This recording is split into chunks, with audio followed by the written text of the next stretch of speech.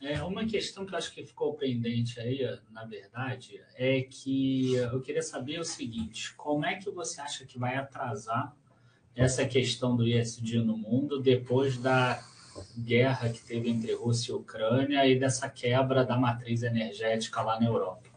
Muitas notícias aparecem mostrando que já estão voltando para fontes mais tradicionais, fontes poluentes porque, enfim, tem países ali que dependem muito do gás natural europeu, do gás natural russo. A gente já vê aí alguns lugares que subiram muito o custo da energia e no inverno deve subir mais. Até que ponto? Então, isso, isso a não... sustentabilidade é Excelente ah, pergunta. É, é, então, Excelente então, pergunta. Não, é fantástico isso aí, porque é, é, traz, é, é uma polêmica forte. Então, quer dizer que o SG morreu por causa disso? Não.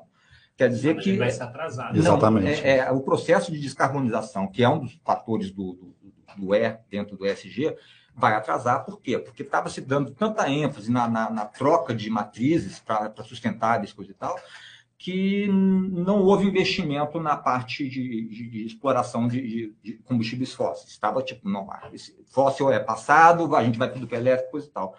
Então a gente estava não, não, não se pensou em nenhum momento em alguma qualquer tipo de crise que aconteceu né, é, com, a, com, a, guerra lá, um desastre humanitário, é, mas então, aconteceu. Uma então, falha no planejamento, né? É, é, acaba sendo, porque a, a, demanda da sociedade, principalmente europeia, pela troca de, de, de matriz energética foi tão forte que é, relegou a segurança energética, que é o ponto que, que agora está batendo. E geopolítica. Então, né? é, dado que eu preciso fazer, eu tenho que me preocupar com a segurança climática, porque daqui a pouco, daqui a, a 2030, 2040, 2050, os efeitos são muito fortes. Hoje, para mim, já está acontecendo efe, é, efeitos da mudança climática, mas vão ser mais fortes lá na frente.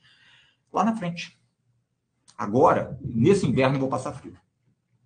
Né? Então, essa questão de segurança climática a longo prazo e segurança energética hoje está né, é, é, tá fazendo essa, a necessidade de você consumir mais fóssil.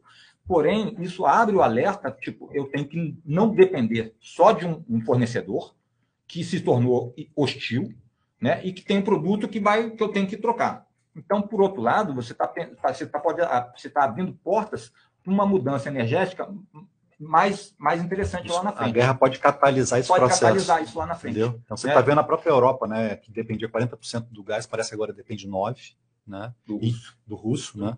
E, na realidade, ela está criando alternativas, né? e o Brasil pode despontar com uma grande uma oportunidade, principalmente com o desenvolvimento aí, na, através, através do hidrogênio verde, né? uma das grandes, dos grandes, dos grandes fronteiras aí que a gente tem que estar atento. Daqui a pouco vai ter fundo de hidrogênio verde. Já tem ETF, já tem ETF, já tem ETF.